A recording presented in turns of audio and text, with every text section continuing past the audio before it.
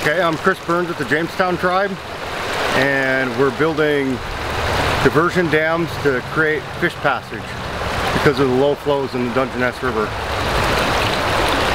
We're trying to funnel the river into areas where the fish like to come up and making it fish friendly for them. We're trying to get them up into the upper river where the water quality is a little better and help the Chinook pass. They're having trouble getting up to the shallow riffles. We're at the Ward Bridge on Woodcock Road. This is uh, mile 3.3.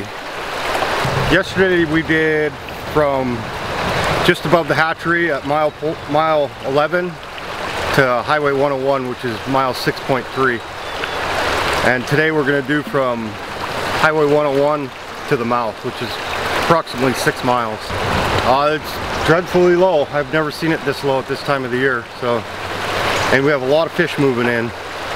Lots of pinks and a few chinook. Uh, this morning the CFS up by above the hatchery is at between 100 and 105 CFS.